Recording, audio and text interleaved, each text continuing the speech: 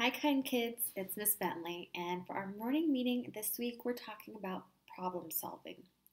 Remember, we're all going to have problems, big and small, in our life, so we have to learn the steps to solve them. We learn step one to identify the problem and state it. Step two is to think of a couple solutions. Remember, just one solution might not be enough, that one might not work. So let's talk about step three today. You've thought of a few solutions. Now you're going to think, does that solution work? And you're going to have to try and think through what could happen. So if your problem is that your friends won't let you play with them, and one of the solutions you thought of was to say, fine, I don't want to be your friend anymore, well, let's think through it.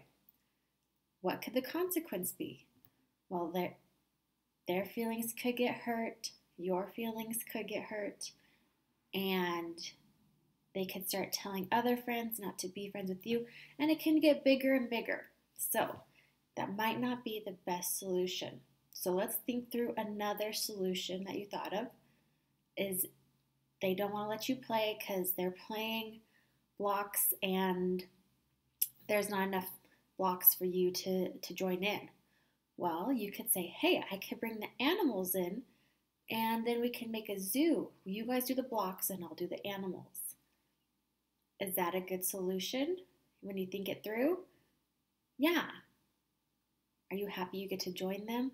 They're happy they can still play with the blocks and you're all still friends.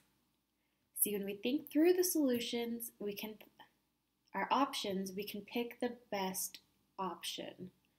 So, it's it can be really hard to think it through, especially if we're having a strong emotion. So remember, stop, state the problem. Second, think of a couple solutions. Third, try and think of what the consequence would be. Saying, I'm not going to be your friend doesn't feel good at the end. Thinking of another game to play or adding in feels better. So, and then try, so try that this week. When you have a problem, thinking of a couple solutions and picking the one that feels the best. Okay. You guys are going to be excellent problem solvers. I'll talk to you later. Bye.